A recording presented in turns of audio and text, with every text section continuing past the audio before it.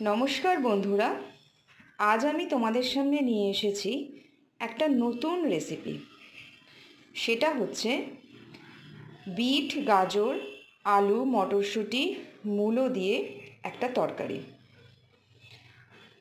Bit আমাদের কারোরই খেতে ভালো লাগে না, কিন্তু এই তরকারিটা বানালে আশা করি অনেক বাচ্চা থেকে বুড়ো অনেকেই খাবে। তো আমাদের কি কি লাগছে সেটা আমরা একবার দেখে নিই। এই রান্নাটা করতে গেলে আমাদের প্রথমেই লাগছে আলু। ছোট ছোট টুকরো করে কেটে নিয়েছি। লাগছে গাজর। সেটাও একই রকম সাইজের কেটে নিয়েছি। আর লাগছে মূলো। সেটাও একই রকমভাবে টুকরো করে নিয়েছি। আর লাগছে এটা বিট। আমি এখানে আলু নিয়েছি দুটো, মাঝারি সাইজের। তিনটে গাজর নিয়েছি। দুটো মূলো নিয়েছি, দুটো বিট নিয়েছি। আর এখানে রয়েছে মটরশুঁটি ছাড়ানো দুশো গ্রাম মতো।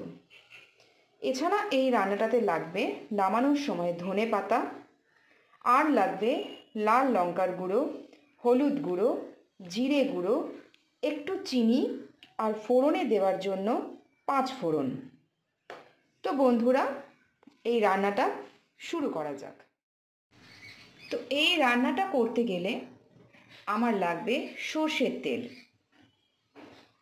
আমি প্রথমে কড়াতে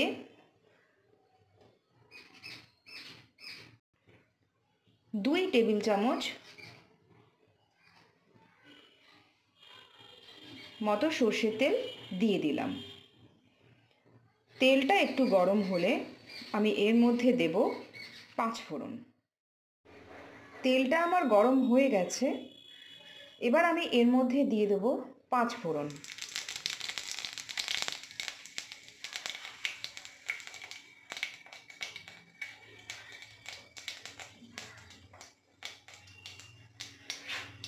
এরপর আমি দেব আলু।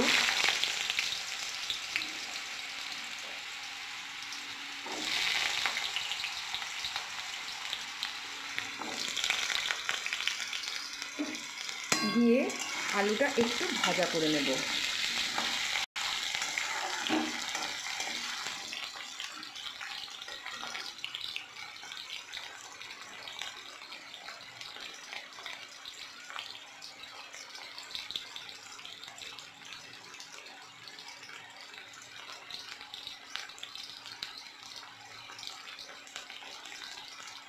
এরপর আমি দিয়ে দেবো এর মধ্যে কেটে রাখা বিটের টুকরো।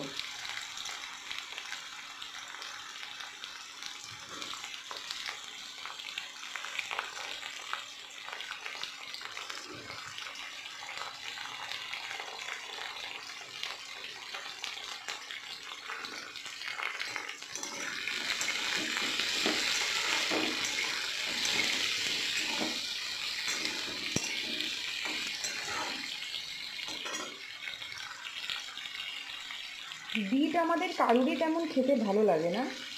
কিন্তু এইভাবে ছোটোবেলায় মা আমিও খেতে চাইতাম না। আমাকে এই রান্নাটা করে খাওয়াতো। প্রথম প্রথম বিটটা খেতে ইচ্ছা করতো না, কিন্তু এখন ভালোই লাগে। তোমরা একবার ট্রাই করে দেখো, তোমাদেরও আশা করি ভালো লাগবে। এরপর আমি এর মধ্যে দিয়ে দেব। কেটে রাখা মূলোর টুকরোগুলো।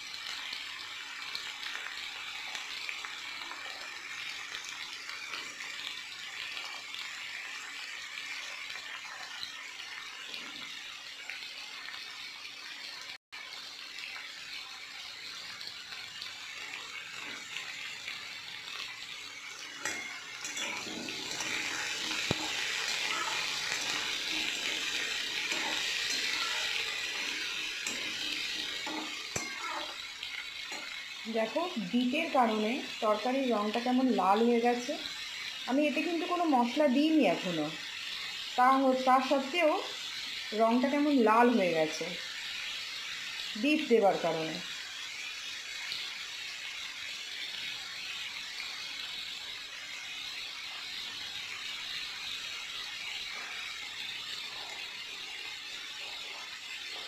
এবার আমি এর মধ্যে গাজরের টুকরোগুলোও দিয়ে দেবো।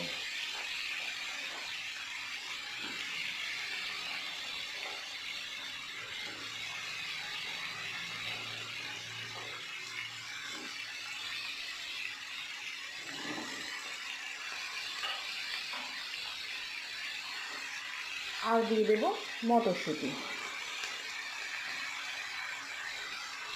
এবারে এটাকে ভালো করে ওপর মিক্স করে নাড়াচাড়া করবে।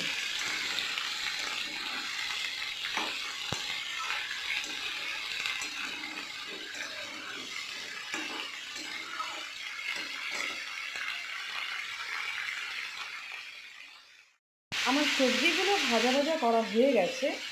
এবার আমি এর মধ্যে মশলাগুলো দিয়ে দেব। প্রথমে দেব হলুদ গুঁড়ো।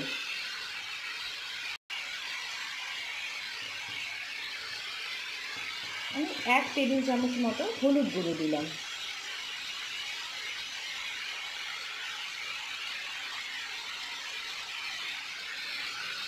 এক টেবিল চামচের থেকে একটু কম লঙ্কার গুঁড়ো দিলাম।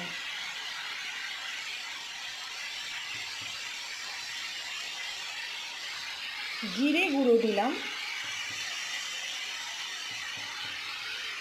দু টেবিল চামচ।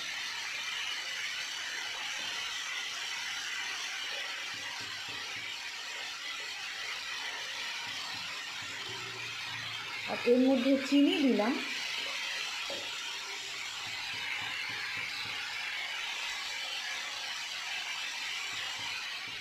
দু চামচ। এবার এটা সবজিটার সাথে মশলাটা আমি ভালোভাবে মিশিয়ে নেব।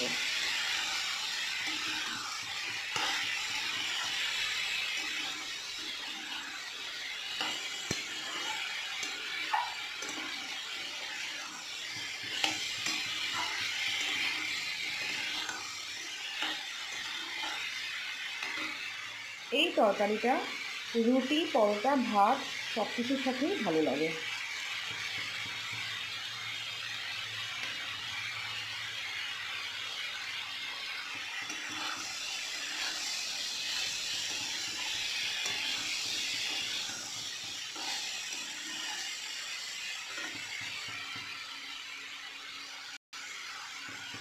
এবার আমি এতে পরিমাণ মতো জল দিয়ে দেব।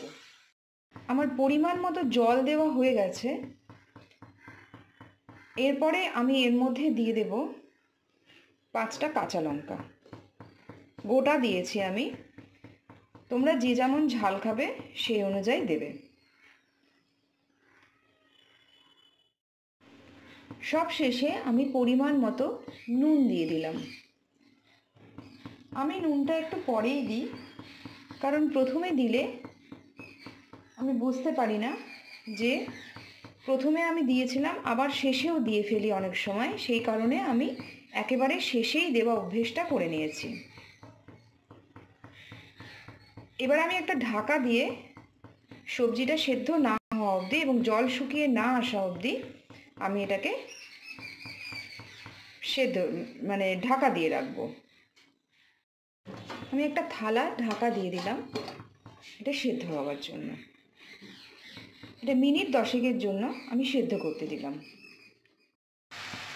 দেখো বন্ধুরা, আমার এই রান্নাটা হয়ে এসেছে। সবজিগুলো সেদ্ধ হয়ে এসছে, জলটাও কমে গেছে একদম। সবজিগুলো খুব ভালোভাবে সেদ্ধ হয়ে গেছে। এবার আমি এর মধ্যে দিয়ে দেবো ধনে পাতা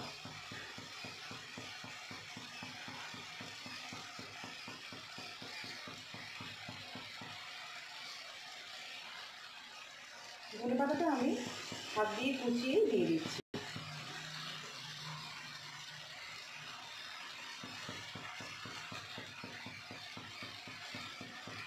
দিয়ে ভালো করে তরকারিদের সাথে মিক্স করে নেব।